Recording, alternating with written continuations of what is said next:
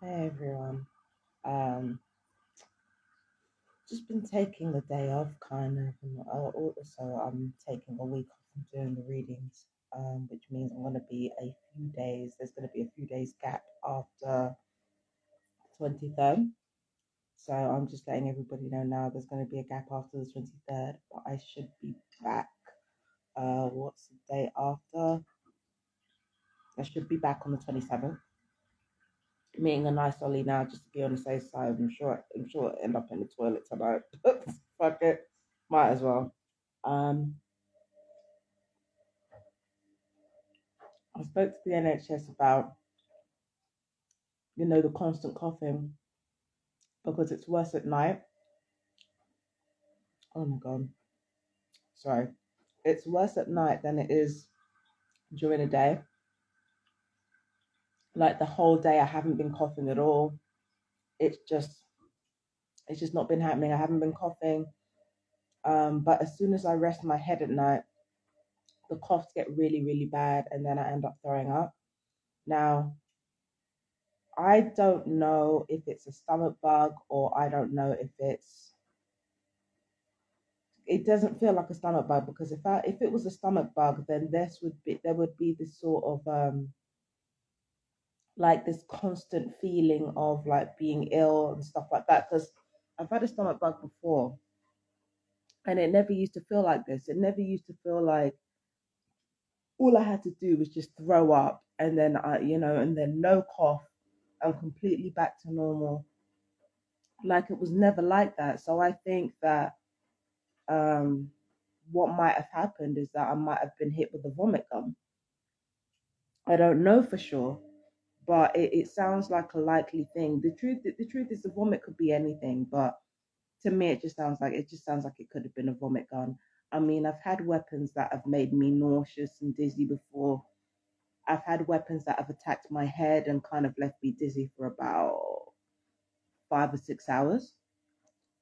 So if I'm being hit with a vomit gun every night, then it wouldn't be it wouldn't be of any surprise to me. I mean, vomit guns can penetrate walls and stuff like that. And I mean, it's online for everybody to see if they want to look.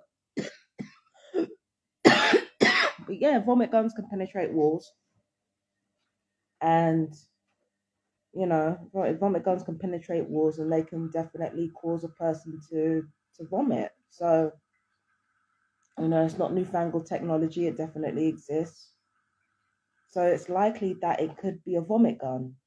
But I'm not ruling out the possibility that it could be a stomach bug, even though my hygiene is not not bad, not bad. It's not bad. I keep this place relatively clean. Um, but it's um, could be a bug, could be um, why I call it there. It could be a bug. It could be ate something bad. But I don't know what I could have eaten though because I'm very, very like stringent with my cooking. And I always try to make sure I cook everything thoroughly. So can't be that. Yeah, so I'm trying to understand. It could be a stomach bug. It could it could be a stomach bug. It could be could be the flu. Because I did start out coughing, right? I started out coughing for the best part of a month before all of this vomit showed up.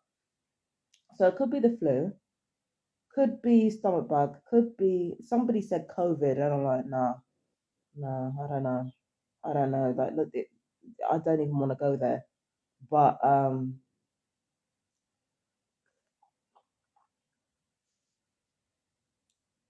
but it's one of those occasions where it literally could be anything. My thing is, if it is really truly a stomach bug, then why is it that I'm only vomiting like within days of each other? Like the last time I vomited was like about a week ago, a bit, you know, about a week ago or so, like a few days ago. So if it was really a stomach bug, then why would it get to a point where I'm coughing and I'm only throwing up like like once and then going back to bed. It just doesn't make any sense. Like the, the symptoms of having a stomach bug and the symptoms of having the symptoms of having flu, it just doesn't seem consistent with what it is that I'm going through. I, I personally being think, I personally, sorry, being think. Yeah, you see, you see how these weapons have affected me already. Been getting weapons fired at my head. But for me, I definitely think that is a vomit gun. it's a vomit gun. There's no doubt in my mind about that.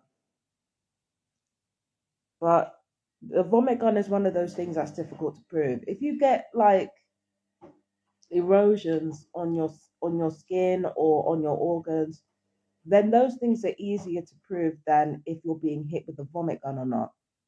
But there are multiple directed energy weapons and acoustic weapons with multiple kinds of capabilities. There are so many different kinds that can be used on a person, especially with drone technology. So I really think it's a vomit gun. Again, I can only imagine how much more fucked up my symptoms would have been if I was sleeping in my own bedroom. How much more fucked up? Because the thing is, I've had injuries in here similar to when I was in my own bedroom. And in my own bedroom, it was always worse to the point where I couldn't fucking sleep. So if I'm vomiting like this now, so I can only imagine what it would have been like in my own bedroom. To all my fellow TIs out there, check the Saturn Chronicles if you don't believe me. I was fucking bed like me being it me having back and hip pain in my bedroom led to me being unable to walk for walk properly for two fucking weeks. Go and fucking check the if you don't believe me, go and look up the Saturn Chronicles on YouTube. It's mostly me ranting, but I'm in bed. I'm in bed. I can't move. I can't walk. I can't do anything. I needed crutches to walk, or I had to crawl to the bathroom.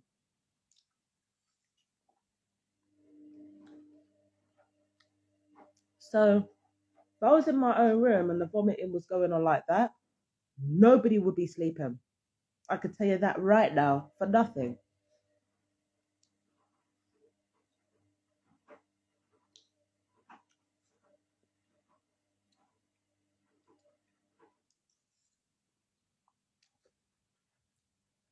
If I was sleeping in my room, I swear to God, nobody would be sleeping. Nobody would be sleeping.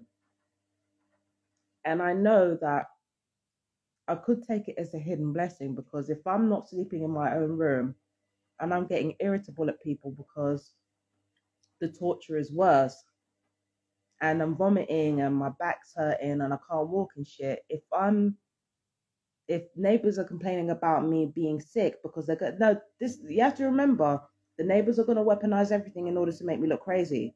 So if I'm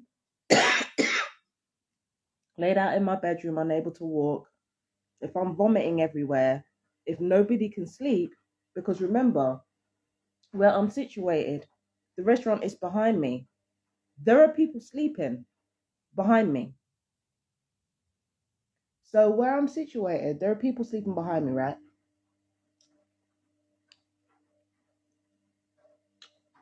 So nobody, ain't nobody fucking sleeping. I go in my room and I get hit with the vomit gun. I get hit with directed energy weapons on my back and on my hips. Ain't nobody sleeping.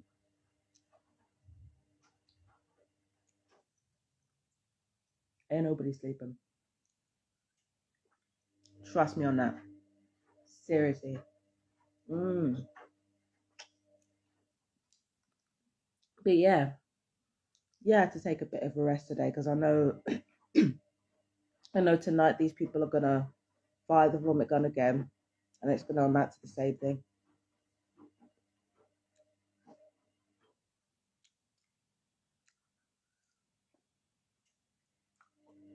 You know? So yeah, let's see what happens though. Let's see what happens. But um yeah that's that's basically my day. Just been doing absolutely nothing. Just completely resting up. I haven't even been on my laptop, which honestly has put me in a much better mood. So I've been mostly on the phone, like napping in between, listening to videos and stuff. And you know, it's been good. It's been good. I needed it. I needed that time to like just tune out and do nothing. I usually spend all day doing fucking readings. So this allowed me to tune out. It allowed me to sort of just focus on myself. But anyway, I gotta go. Thank you for sticking with me. I'm sorry that the video was so unfocused. Um, but you had to let, you had to know what was going on with me because I feel like it has something to do with electronic weaponry. And if it has something to do with electronic weaponry, then yeah, yeah, it's important. There are vomit guns out there, so you know it's it's important for people to know. Anyway, I gotta go. You guys take care. Bye bye.